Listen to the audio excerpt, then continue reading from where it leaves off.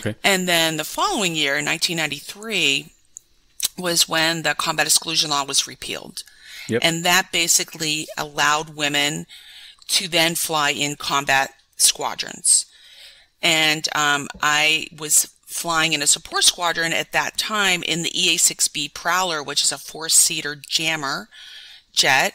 Mm-hmm. And it's now um, been retired, and um, there's the two seater Growler, the two seater F 18 Hornet now has taken over that mission. Okay. So at that time, I was able to uh, switch to a new squadron and switch to a, a, combat squadron and get deployed onto an aircraft carrier. Um, USS Abraham Lincoln. I was in the first crew of women on a West Coast boat to okay. um, uh, transition to a combat squadron. So that was another whole story in itself because it was, you know, it was very challenging for everyone, I think. And, um, the media was very involved and, um, okay. you know, there's a lot of, um, you know, bright lights on that whole, um, that whole process. And, um, it was difficult for the women, I think, and for the men. Well, yeah, anytime transition. you're, anytime you're in a transition, something of that magnitude, because it is a big transition, no matter which way you look at it. And so I, I think probably uh, you got a lot of people that resented that, and and uh, you know maybe some did. Did you? Does anything stick out for you in that in that time? Obviously, that you that you want to discuss.